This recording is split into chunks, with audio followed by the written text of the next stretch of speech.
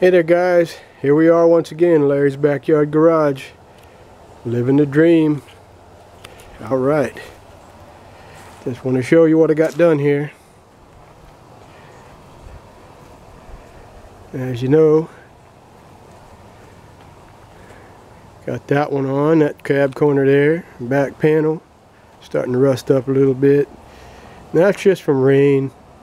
The cab corner there on the left is uh, I sprayed some stuff on there and rusted it up. Panel in the center, that's just from rain. I'm going to be spraying some stuff on there tonight to rust that up. And here's the brand new finished product.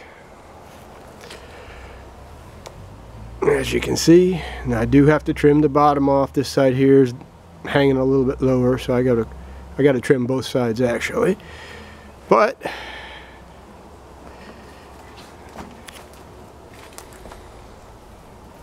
as you can see there it is.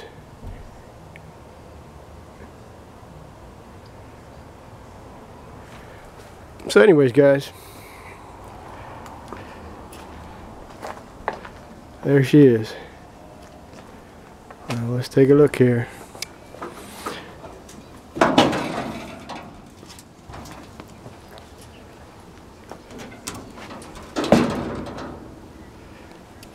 As you can see, the door still opens. That's always important when you are uh, working on something like that. You get done welding. You want to make sure that when you're done, the door still opens and shuts. Now the next step here, pretty soon, and I mean real soon, we're going to start chopping this top. That's another day for sure. I still got some bracing I got to do on the inside. Those signs that are in there are just, uh, they're just stuck in there right now. I don't have them screwed in or anything like that. I've got to take those out and there's some braces that go in there because this is a inner wall. So it's double thick.